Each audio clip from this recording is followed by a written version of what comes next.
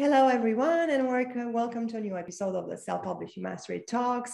Um, today, my very, very special guest is an amazing woman who's wearing many, many hats. I love her Von Top and black hat, but um, she's most known in the writers community here in Southern California and throughout the US. And I think worldwide right now as being the founder of Black Chateau Enterprises. Um, she's also the founder of the Book Fest and of Books That Make You. All of all these three uh, platforms and services, they they won awards, and she's also uh, won many awards. She, she's been uh, awarded a book publicist um, here in Southern California. Uh, she's an entrepreneur. She's a tra- trailblazer. She she's been helping authors for many many years now, and um, her name is Desiree Duffy. Finally here with us. Thank you so much. Thank you. Oh my goodness, AG, thank you. That that was quite an introduction. Thank you. I feel honored and humbled to be here. Thank you for, for, for taking the time to do this while you're traveling. You're not you're not even the, in the US. Can you can we say where you are right now? Sure, sure. Well, you, you might see my, my friend, the busty friend behind me. I'm not sure who she is, and the very provincial landscape. Um, I'm at a little cottage in Loire Valley central Loire Valley in France. That's about two hour, two and a half hours from uh, Paris, uh, so kind of southeast, southwest. Well, the Loire Valley extends a very long ways. It's where the Loire River runs. So I'm here in a little cottage in France, just yeah, chatting with you. yeah, this is a um, yeah, that's the way I see this our conversation today, like a, a nice morning chat because this uh, this episode will be live on a on a Thursday morning, so it will be a, a, a good opportunity for you to you know grab a cup of coffee, a cookie, uh, maybe a spiced pumpkin latte, since it's almost Halloween and enjoy our conversation. And I have to say that Desiree has been really working really, really long hours, uh, really, really hard for, um, I think, ever since you founded Black Chateau Enterprises um, a few years ago, but especially since this whole COVID started, you you helped so many, many, many authors that you really deserved a little a little break and, and a little holiday. So oh, thank you. so and you're still working. I mean you're still here with us. And i know you know with um, the book fest just around the corner there are still many pieces to to put together and we're going to talk about that. Um, but um, we were just discussing before we started this interview about how this whole COVID and, and lockdown and, and the restrictions shaped the, the publishing world and um, how it is still affecting authors and, and books and the way authors interact with, uh, with uh, their readers. So I think that's a very timely topic that we should we should start with, especially that you are you've been you've been doing it, you've been living it for for almost two years now, I think. Yeah, exactly. And there's a lot that we can unpack with that. Um, you know, there's kind of three main things I want to bring up. We'll kind of start with the big picture, zero in and zero into stuff that's more just pragmatic and happening now.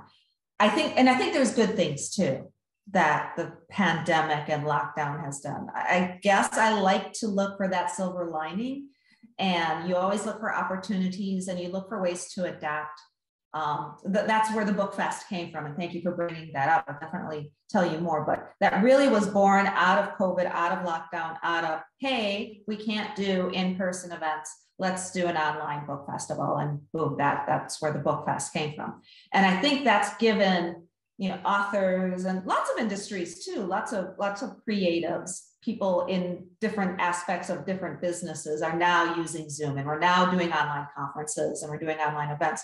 For authors specifically, it's made doing an online book signing or interacting on social media, doing things that they might not have normally done before, just more accepted, more common.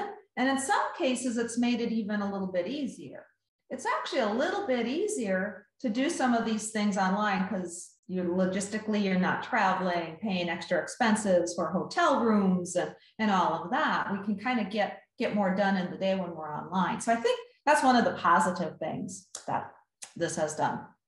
I think another thing it's done is it's created a lot of competition for writers overall because there's a lot more writers who are writing or just got done writing. We all had this time to focus suddenly on our passion projects, on that manuscript that had been sitting in that writing drawer for all that time. We pulled it out, and there's just so many wonderful, awesome stories that are coming out and will continue to come out. Um, and I think that's good for people, society, for people who love to read like us. But then it also means that there's more competition than ever before. It's always been very competitive, but you know, I think we're going to see see more of that from a real brass tacks perspective, and this is happening now, even just a couple of weeks ago, uh, there's been chatter within the industry about the supply chain, about books not being able to be even printed. They were cautioning um, stores and publishers to order their books a couple of weeks ago to make sure that they were available in time for the holidays. And when you think about it, as oh, we're still looking at fall. We're not quite thinking that far in advance, but I think there's going to be some impacts on the industry that way. Um, some books just aren't going to come out, and you know that's for books that are coming out. And we, I know you especially focus a lot on self-published or indie or small press type authors. Well, you know it's going to have a very uh, a trickle down effect for them too. Except the big publishers can't get their books the little guys are going to have a harder time too. And when you're getting ready to launch a book, you might be looking at, I'll be fine. I'm launching my book after the first of the year. But what happens to your, your ARCs, your advanced reading copies that you want to order? What happens when everything just starts to get pushed and shoved? So I can see this possibly even affecting people that are publishing books, you know, after the first of the year, having an impact on them as well. Yeah, so this is something to this is this is something to keep in mind for the print books. Uh, the ebooks don't have the same, let's say, uh, doomed fate. Um, but um, for those of you who don't know, I, I I'd like to mention that Black Chateau Enterprises is an award-winning book marketing agency. You're basically doing everything that an author needs to be successful and launch their book. So you're doing branding, you're doing websites, you're doing social media, you're doing media relations, um, you're doing self-publishing support. Did I miss anything? Uh, there's a few other things in there, but those are the highlights. yeah. So those and those basically those are all the things that incorporate into an author platform and that you need you as a right as writers to make sure that at least you get the book in front of the, of the readers and then and then you'll see. And the email marketing yeah that's also a, a big one uh, and building your audience. Um, so um, building an audience i think that's a, that's a big big thing. And um, you can hope of uh, having a, a, a, a successful book launch unless you build an audience. So what happens when an author knocks on your door and says, "Hey, I'm a first-time author. I have a, a, book, and I know you've you've you've helped first-time authors many many times. So what happens then? What do you do?" Uh, yeah, yeah. You know, that's such a great point because quite often people feel that the marketing and the PR starts after the book is published. And I say this all the time. I say this every day of the week. And every day of the week, I get the same email or the same call from an author. I just published my book. Now I'm ready for the PR marketing. Oh, I had at least three months, at least that's the minimum, four months. And just depending on that author platform that needs to be built, even longer. why? Why could I possibly need all this time to do these things? Well, to start off that three, four month window, what I we need to do is pre-launch marketing. And this happens with the big publishers. So it's part of what the industry expects. We get advanced reviews. When we do that, we're reaching out to people who review books, who review books and write about them. They need time to request the book, get the book, read the book, write the review, post the review. All of those things take time.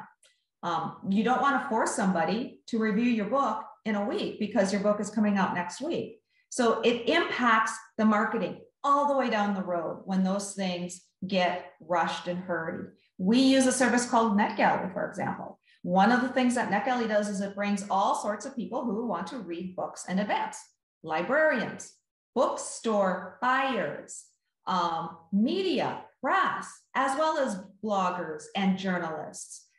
They want to see that book in advance. When you post something and it's already been released, it's like you just take the sail, the wind right out of the sails of the boat. You know, it's just like, oh, that's not as exciting. Why, why is that on there? I'm going to go look at the new things. It's, you know, people want to look at the new exciting books that are that are coming out. So that's why, from just a very you know, pragmatic point of view for a book launch. That's one of the main things. And we need time to pitch it, to write the press release, to get the media interested, to book those media interviews. For doing any kind of advertising, it takes time, sometimes months in advance that we're booking things out. So that's the core right there. And then kind of, you know, tapping into what you were mentioning before as far as an author platform. If you need a, a website yeah, why I, I shouldn't make that in a week before the book is launched. You need to have that months, maybe even a year in advance. Your social media following, those audiences that you need to build, you're building them on social media. So don't start your Instagram page a month before you started because you're, you might end up with maybe a couple of hundred followers if you're lucky, but start that six months in advance and you're going to have a few thousand if you're doing it right. Same thing with Twitter, Facebook, or BookTok, TikTok. You know, that's that's something that you have to build and nurture over time. You can't rush that. And you mentioned email marketing too. Same thing, email marketing, your email list. You want to build excitement. You want people to experience your journey so that when your book is available, you're like, oh my gosh, now it's available. Now I can buy my good friend AG's book. And they're your good friend because they met you on Facebook might, might not ever have met you in person, but AG has been sending out a monthly newsletter that has tips for cooking or for getting ready for the holidays or whatever it is. My book is all about, you know, having a, a cozy mystery and, you know, in it I have recipes. So in the meantime, I'm going to give you a recipe every month. And then, oh my God, you're going to have to read the recipe that's in my book. There's ways to build things up build up anticipation so that when the book is ready, your audiences are there and ready to receive it. And trust me, you can't do that in just a couple of months. And it, it definitely is hard to do when the book is already out. Uh, since you mentioned recipes, now of course I'm thinking about David Ruggerio, one of your clients whom you've helped, and you've, you've also helped him uh, with an amazing virtual book launch. So I'd like to talk uh, about that a little bit. I have a question uh, before though. Uh, how? What's a realistic time frame for building an audience for an author who doesn't have any followers? If they're starting from scratch, really, I'm going to say a year before your book is launched. Yeah. Um, different platforms can be built up differently. And, you know, if, if you're providing really great content, it, it can vary. You know, book BookTok, TikTok can be built up relatively fast right now because it's kind of the new fancy thing and everybody's jumping on that. It's harder to build up on a Facebook page. I don't even know if we should be doing Facebook pages anymore. just just antiquated. Twitter, it's really hard to get uh, a lot of engagement on Twitter, but if you're doing it right, there's there's a great writers community. You use the hashtag actually, writing community. So kind of depending upon the platform uh, when it comes to social media, um, six months maybe, and it depends too on your website. The thing is, is all of these things take time. We, can help you with it, but if you're doing it on your own, you're building website and you're building up your Instagram and your Twitter or whatever it is you happen to be doing and your email list. You're becoming your own marketer. And so to try to all of a sudden become a marketer four months before your books launch, you're taking on not just one full-time job, you're taking on several full-time jobs, plus you're trying to get your book out there. Why would anybody want to put themselves through that misery when you know give yourself time, build it up slowly, naturally, organically. And I think the most important thing is it feels more genuine then. Yeah. You know, if I've been connected with AG for a year on Facebook and we've shared recipes and stories and hanging out and chatting, and now she wants me to check out the book she's releasing, I'm much more likely to do that than somebody I just met who's like, buy my book, buy my book. It's it's they're almost like that annoying salesperson at that point.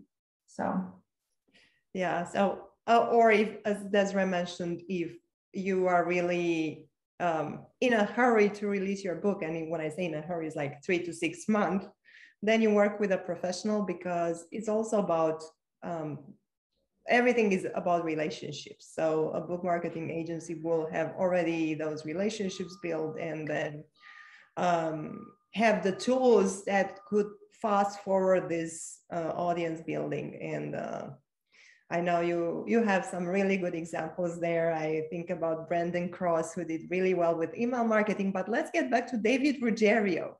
Mm-hmm. So David Ruggerio, a celebrity chef, an author who uh, started with cookbooks and then dove into uh, thrillers and romance, and now he's back into cookbooks. So you did a book launch for him, actually, a virtual book launch. And I'd like to talk a little bit about how authors can tap into these uh, virtual book launches and uh, generate buzz around their, their books. Sure, sure. Um, you know, I think there's a lot of ways to do it. I know that there are bookstores that you can partner with and, and do a virtual book launch with them. The nice thing is they can help facilitate the ordering of the books and signing copies and stuff. So it will replicate that to a degree. When we did David Ruggerio's, it was last year, I think around this time actually. And part of the problem was the print books, just like we talked about this year, printing books was it, it, was it was too slow. So we, we really couldn't even, you know, do the printed copies of the books. But what we did instead is we had a session very much like this. We were talking with him. We distributed it on Facebook and we invited people to it. We invited our network because we have a lot of book lovers and readers on our list. It's collaborative, and he invited his friends and family and sent out to his newsletter list. Uh, we did like a Q&A, an author Q&A. So I think if somebody's going to do something like that, it might be nice to have somebody ask, ask questions, talk about the book. Um, we had two actors that read from the book because that book was a romance. So was the man and the woman. So two actors, you know, read parts. Um, but if an author doesn't have access to actors or really have that duality, they can always read from their own book, read an excerpt from it, um, answer questions as well. With David, we had lots of great questions from the audience. And to really have fun, we built a contest around it. We gave away not only copies of that book, but of some of his previous books, because, like you mentioned, he's very prolific. He does cookbooks and he does other types of genre fiction. Um, and he, he, he had some um, flavored oils too, because he's a chef. So there's like the drizzling oils that you can put over pasta and stuff. So, and, and that's an example of that made sense for him. Like find what, what's the thing that makes sense for you as an author? Again, just going back to the cozy mystery as an example. Maybe you're giving away cookies or cupcakes or something like that, or hot cocoa or tea, something that kind of goes along with reading that cozy mystery.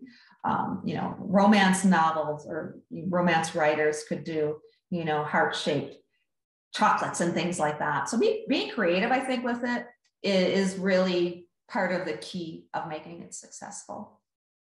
These are all wonderful creative ideas. And uh, I think authors are creative by nature, so it shouldn't be too difficult to come up with this idea. But uh, I have to say, in Desiree's situation, her background in marketing, in branding, that happened before she founded Black Chateau Enterprises and then her ex expertise as a radio host. So all her skills and talents combined um, help authors with their book launches and their book marketing and, and getting uh, their talent in front of the readers. And I think nowadays, just as you said, Desiree, authors are needed because I think books can make the world a, a, a kinder place, even scary books. yes, yes. Oh, yeah. Can I give you an example? Please do. Yeah, yeah, yeah, yeah. So we went to Notre Dame in Paris. Uh, and as you know, Notre Dame had, the fire, so you can't go in. We just walked by to get the photo op standing in front of it. And I noticed they had a, a staircase going underground, and there was some kind of archaeology archaeology exhibit. And I went and checked it out, and they they had two things. One, they had uncovered different streets and an ancient Roman bath and the sidewalks and arches from when the Romans were, were there centuries and centuries ago. So that was just so cool. But they also also had like an homage to Victor Hugo, who hmm. wrote The Hunchback of Notre Dame. And it just struck me as I was walking through this because that book, when it came out, that book is really what inspired the people of Paris to get behind and restore and basically save buildings like Notre Dame. At the time, not too, too long after the French Revolution, you know, buildings like Notre Dame were, you know, they had been destroyed partially. The Gothic architecture, you know, with the flying buttresses and it's very, very ornate, that was not in vogue at the time. So a building like Notre Dame was considered to be garish and, you know, not attractive at all. But it just struck me the way Victor Hugo's book really actually ignited so many people's imaginations and it got people donating money and restoring it and you know putting up the oils and the centuries and the architecture and bringing it back to life. And I, I think that ties in with what you you just said so beautifully because books do inspire us. Fictions you know stories like that can inspire us to do fabulous, wonderful things for humanity. So I think that's important for us to keep in mind. Yeah, and I think that's where the book fest uh, comes in so again timely and beautifully because it brings uh, in front of the readers an array of best-selling authors and and amazing books for two days, October 23rd, October 24th. And of course, we, we are going to talk about this, but um, I'm going to keep this segment for the for the end of our conversation. Uh, I'd like I have uh, just a few more questions about the you know the the self publishing current publishing self publishing landscape about and about book marketing. Um, what are your favorite um, social media platforms right now that you think that are most oh. helpful? Um, I still contend, I've, I've always said, go on the social media platforms that make the most sense for you and your book and your audience. And that ties back into branding, right? So, what's your brand? If you're young adult fiction, you should be on platforms where young adults are hanging out. Hello, Instagram. Um, you know, interacting with them, being in groups at, you know, where your audience is. That's that's part of what social media is about because that's the people who are going to read your book. So be where your readers are going to be. Um, if your book is more political, you probably want to be on Twitter uh, or business oriented. You want to be on LinkedIn. So go to the places where your audience is going to go and where it's going to make the most sense because you know i'm not saying that somebody can't market their business book on instagram and there's lots of different crossover but you really got to think about it and be creative and make sure that you're hitting that audience in the right way. Um, the other part of it is be where you want to be. I ran into so many authors where they're like i hate twitter but i'm supposed to be on it because so you know somebody told me every all authors are on twitter. It's like well the writing community is kind of on Twitter. I don't know so much how many readers are on it. So if you're using Twitter, again, unless it's political or maybe a business type book, why are and what are you doing? I actually am secretly falling in love with TikTok mm-hmm. right now and BookTok. And I was resistant in the beginning because it is such a creative platform. I'm working with so many authors who are writers. A lot of times it's hard enough to get them to do a nice, pretty image for Instagram. TikTok is a whole nother level in the fact that it's video content. It is literally, you know, I made the joke, not unless you want to be a dancing author. If you want to be a dancing author, then you can be on TikTok. But you literally have to create creative content in order for it to work. Not quite like Twitter or Facebook, you can just make a few comments and post a few memes. You have to be a creator. But, but, but, but, AG, I think you know this too. Book yeah. talk has really taken off lately. What I mean by book talk, it's it's a hashtag. It's like a micro community inside of TikTok. Kind of like Facebook and groups and kind of like hashtags and everything. But on TikTok, those communities, they feel a little tighter. Um, the way their your feed is organized, it's more by your interests than your followers. So you can find and make friends on BookTok and there's different hashtags too for book lovers and you know tbr and all of that. But when you kind of enter this community it's a very open gracious fun community. And even just watching the videos is, is a really good time. The cool thing about BookTok is they love authors because most of the authors are over there hanging out on instagram and facebook and twitter and when they come to BookTok, they're kind of like what am i doing here and the fans love that. They love like that. Oh my God, you know, my favorite author is here. Um, and the, the cool thing too about BookTok, it's revitalized backlist books like nothing you've seen before. There are books that were literally published five years ago, and all of a sudden the publisher started seeing the sales go up, and they're like, "What's going on? What happened?" And it was because of BookTok, because people started sharing it and reading and you know, doing their book talks, TikToks with it. And it really has picked up for a lot of different books. There's there's some genres that work better than other. Again, YA and mysteries, romance, fantasy. Some of those genres work, you know, probably a little bit better than maybe your nonfiction or your business books. But I suggest if somebody is feeling motivated and creative, um, not to dismiss BookTok on TikTok.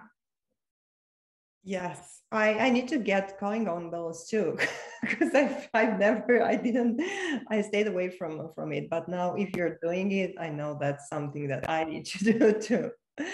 Um, I know that um, so the, the, digital digital marketing and this building a, a, solid online presence for your authors was always a, a, a, big thing with Black Chateau. What like when you started? Did you have a crystal ball? Did you know what was going to happen in 20 in 2020, 2021?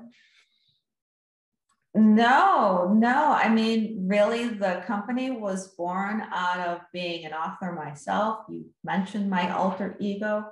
Um, I had been doing marketing and PR in house for 20 some years, as well as, yeah, you mentioned broadcasting. I was a host and, you know, did a lot of event marketing.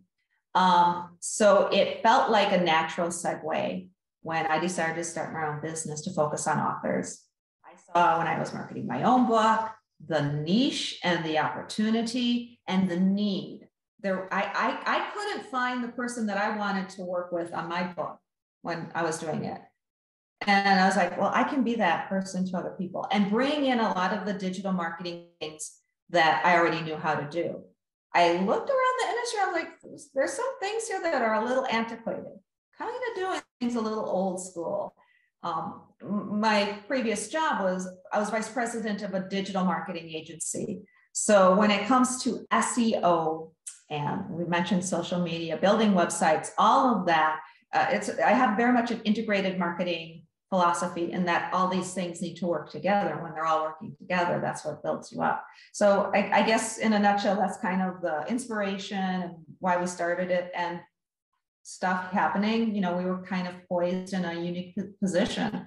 We were a virtual company for several years before virtual companies really kind of became a thing. That was the other thing I did. It was like, mm, we don't need to have that fancy office. We can cut costs and put, you know, give those savings to our clients rather than having to pay for the fancy office and the yeah. rent and the location and everything. So we've been working with team members from around the world from the beginning because we can hire talent from anywhere in the world. You don't, we don't make them go to an office. So being able to use online platforms like Zoom, we were using Zoom years before people were even aware of what Zoom was. So yeah, we were kind of fortunate to be positioned at that juncture and you know, it, it, was a pretty easy transition for us. And uh, thus, you were able to help uh, authors from and still helping authors from around the world. I know you you are working with authors from Australia and uh, South Africa and uh, other countries other than the U.S. and of course authors from all around the U.S. Mm-hmm. Yeah, yeah, exactly. It just opens you up. You, you, st- you start realizing that the world is big and there's so many opportunities, and we don't need to think regionally or nationally as much anymore. Uh, now, if you had if you had a crystal ball, what would you see for 2020? I can be 2022. I can't believe we are, are almost at the end of 2021. Um, mm-hmm. What what do you see for authors and the self-publishing industry because we are self-publishing mastery and Black Chateau we are uh, i mean we are helping mostly self-published authors. So um, what do you see? What's going to happen? I see even more opportunities because of the fact that you can publish that book on you can do everything you need to do from your couch nowadays. Um, you can, you know, you can work with AG or work with us or a combination of us and you know get your book up there get it online. You can work with people communicate with them this way. I, all aspects of that business can be done virtually. Um, and I, I, do think that you know, if you're forced to stay at home because of social distancing and things like that you know you can find a little bit more time to write. You're not driving you're not commuting as much. So I, I just see more opportunities for authors. I see more wonderful books coming out onto the market. And i think just from almost a literary perspective too when major changes happen in the world it always ins- it inspires literature or literature inspires it so I'm really looking forward to how the books and the stories that we're creating today are going to evolve and influence tomorrow. You know, there, there's there's some awful things happening in our world, and I like to be optimistic about things like climate change and you know equity and equality and all of the issues that are kind of you know really a hot button right now.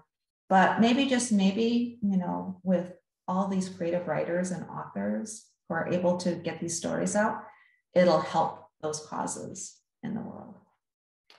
And for those of you who are considering going traditional, so traditional publishing for your book, the Book Fest this year has a special opportunity. And this is one of the things I love about Desiree and about the Book Fest there is always something new. There is always some innovation. There is always some add on that makes her and her events even more spectacular, even more beneficial for, for the authors. So um, I made the introduction. I'll let you tell them about this amazing add-on to the book fest this year because as an author, I'm really excited. I think that's a great opportunity. Yes, yes, thank you. So we've introduced the pitching room. It's virtual, it's basically a page on the website that has a database so that authors can create a profile and upload their book pitching material, samples of their manuscript synopsis for proposal, depending if it's fiction, nonfiction, information about them, videos if they'd like, their social media, basically all of the things that an agent wants to see to consider you for representation. Because that's the key, right? Authors who want to go the traditional route, they need an agent in order to get that publisher. Or they need maybe to get the attention of an acquisitions editor, or some cases there's publishers that they can go direct to.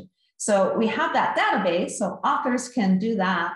And then on the other side of that, we're inviting agents to build their own profile so that they can see those authors. So the public can see them too. The agents, they get to see a little bit more, more information on them. And if they see something that they like, if they see a pitch, a manuscript, an author that they want to reach out to and possibly represent, it's kind of like match.com, but for books and authors and agents. So that's what that pitching room is. And then we kind of took that another level forward by integrating it into the book fest. And we're doing that with two live panels that are happening at the book fest. One is called Brave New Writer, and one is called Critique Bar. Brave New Writer is very similar. I know you've gone to a lot of writers' conferences. So, writers, your, your audience who have gone to a writers' conference, understand that there's usually some kind of pitching component. You probably pay to pitch your manuscript to different agents who are there. I've seen it where it's done like a cattle call, where it's literally like, you've got 10 minutes and they're ringing bells and the people are running into this big room. And I've always thought, God, that feels so sterile and insensitive. You know, you see authors practically in tears sometimes because they didn't pitch the right way and they were rushed and they were so nervous.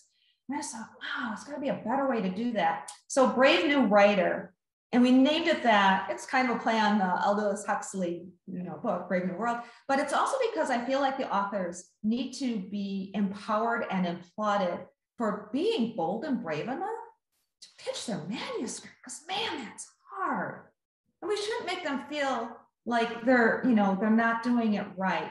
You know, some of the agents can be downright mean to them. So I want them to be built up. So giving them this platform means one, when they do enter their materials, we're giving them access to a knowledge base. Basically, you know, articles and videos and other panels that the book fest has done. You know, this is how you should do your query letter. This is why your genre matters. This is why word count matters, because all of these things are what the agents and the acquisitions editors are looking at. And we're trying to make sure that their book, their pitch materials are done the right way. And so the authors can enter for a chance to be in Brave New Writer, which is then them on a virtual stage similar to this, pitching their manuscript to a panel of agents.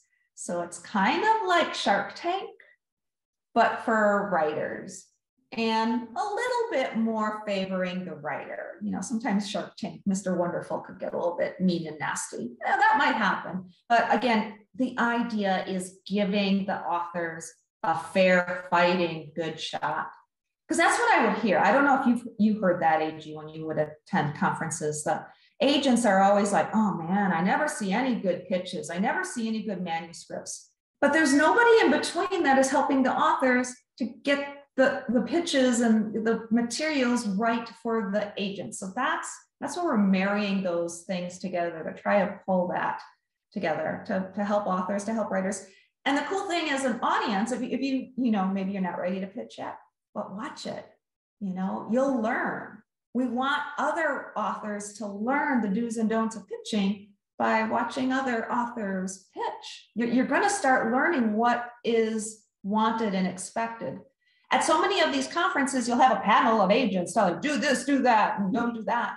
But I feel like we always tell people when they're writing, show instead of tell. Once you see it, I think you'll start getting it. So that's what Brave New Writer is. And I'm very excited. We have several fabulous agents that are going to be on that. Whitney Davis and Andy Ross. And you can find all the information. I don't want to just sit here and start naming off names because then I always forget a name. Um, but uh, the list is on the BookFest website. Um, and then Critique Bar is actually something that Catherine Sand, she's a literary agent, um, came to me and she said, let's do Critique Bar at the next BookFest. And I'm like, what's a critique bar? Catherine, what are you saying? And she's like, you know, an agent and an author walk into a bar. It's a critique bar. I'm like, I love it. Let's do it. What it is, it's Catherine and a good friend of hers who is a New York Times bestselling author, David L. Robbins. They are critiquing page one of manuscripts. And again, that's another thing you see a lot of times at writers' conferences. They're critiquing the manuscript, critiquing the first page, or sometimes even just critiquing the first paragraph. So they're going to do that. So again, when you enter the pitching room, you can add on if you would like to be considered for a critique bar, you can add on if you want to be considered for a brave new writer. And it's a way to help authors more on a virtual stage kind of see and learn and you know there's no guarantees. We can't guarantee there's going to be book deals or offers of re- representation but ultimately that's that's the hope in in doing this.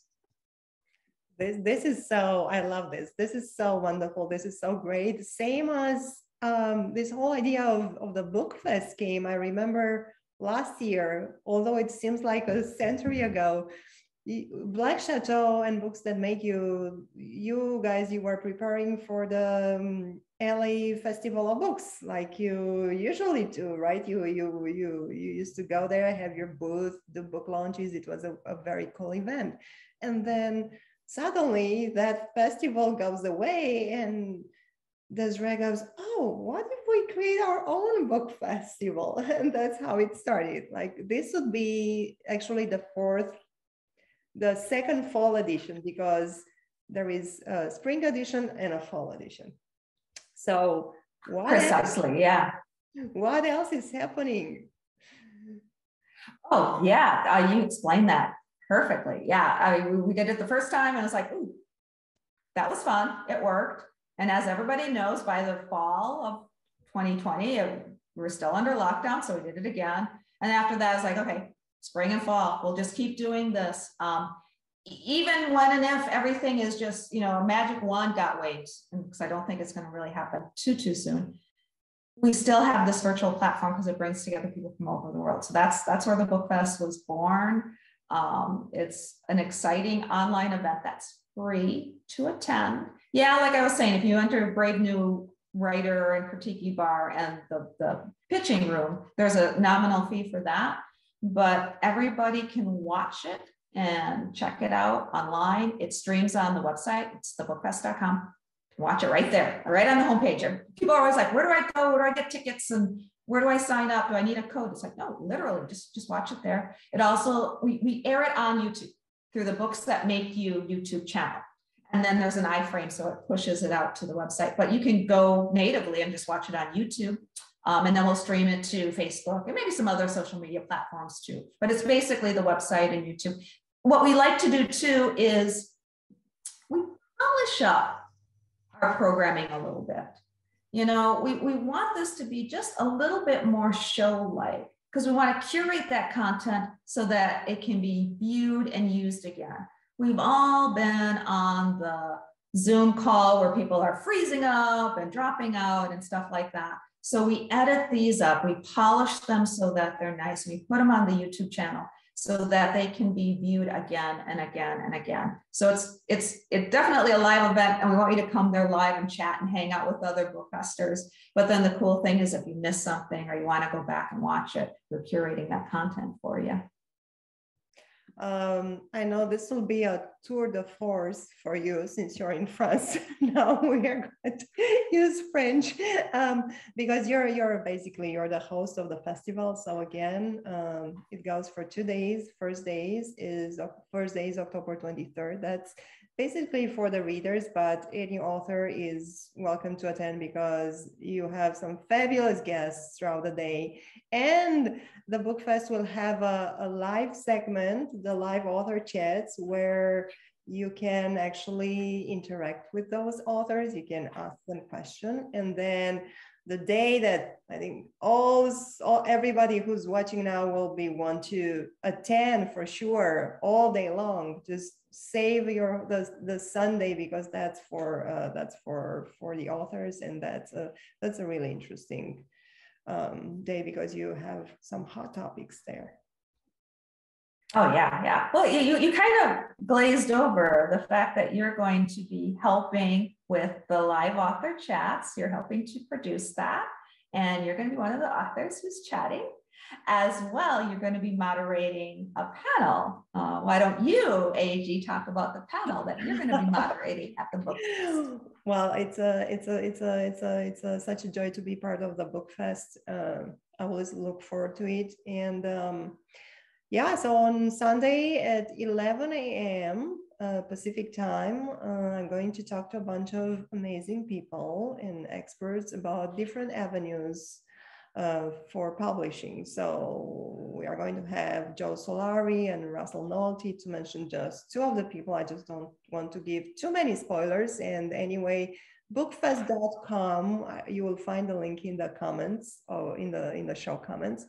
Um, so we are going to discuss different avenues and why a particular avenue, whether it's self-publishing or traditional or uh, you know, hybrid is the best for you and the pros and cons for each of them, depending on, you know, the book genre, your author brand, your writing goals, all these elements need to be considered when you choose, um, when you choose a publishing uh, avenue for you. And I think also the budget you have is important because self-publishing is not free um, if you have marketing skills like Desiree, then yes, probably you can consider doing the book marketing yourself, but maybe you just need a publisher or a hybrid publisher to help you with that. So yeah. there are things. Exactly. exactly. Yeah. And then um, I think everybody is um, invited to join the fabulous giveaway, which is a trademark of the Book Fest and uh, there are some fabulous prizes to win and some fabulous books. So um, it'll be it'll yeah, be yeah. a fun and exciting, very exciting event. Thank you, thank you. And again, I'm excited to have you participate. You're absolutely right. There's so many different avenues and options for authors. So it's good to get that overview. What's the difference between self-publishing and hybrid publishing and traditional publishing, vanity presses? Oh yeah indie presses. I think there's yeah, yeah, and understanding too. So, so sometimes I think, okay, is that a vanity press or is that a hybrid press? And you know, is that really a printing company that's helping them? You know, how big is this publisher? Is it a smaller imprint? So kind of understanding the nuts and bolts of how that works, I think is really important. Yeah. Yeah, for sure. So tune in October 23rd, October 24th, October 23rd. I to have um, fun and uh, and enjoy um, meeting other other like-minded authors, other authors, experts, and then on Sunday just take notes, learn from the experts, and um, and get to know um, the the bookfest team and um, Desiree and um, and everybody involved. Exactly, exactly. It's like a community. That's what I feel. You know, if you're a bookfester, you're part of the community uh, do sign up for the email alerts. That way you're always in the know uh, what's going on. We send out the schedule. We actually just announced the schedule. We'll send out a reminder again. Um, we'll send out information so it's easy to enter that contest, the big bundle of books, like you mentioned. We do a virtual gift bag too. Uh, you know how you can get a gift bag, a goodie bag when you go to a real conference and it's full filled with stuff. So we do it virtually, and we're going to have like marketing tips and books, free downloads from our friends at Smashwords, for example, plus other goodies. I know uh, WNBA, Women's National Book Association, they're going to do a mixer in November and they're going to be inviting people through the virtual gift bag to attend for free. So like, you can save real money on, on some of the, the goodies in there. So make sure you sign up for the email alert so you can get that. So, so thank you. Thank you for, for um, creating this wonderful, wonderful event and the gifts. You, and you are, you are helping us a lot. So thank you. Um, and um, there is a lot of work involved in, in pulling together such an event. I mean, it takes months, months and months and months to do it, to prepare it. So Desiree is a hero. I can tell that. and everybody you are. So thank you. you oh, thank you. Thank you. AG, you're my hero as well. Thank you for having me on your show and for everything you do for authors and writers, the writing community, and for being a part of the Book Fest. I appreciate you. Thank you, thank you. I appreciate you, and and uh, it's been wonderful to have you on on the show. And uh, there are so many things we can talk about, so definitely we'll have to do this again. Um, have a have a wonderful rest of your stay in France. Enjoy the chateau. I will. the castles there and the in France and um, I'll see you or we'll see you all at the book fest October 23rd October 24th thank you. Thank you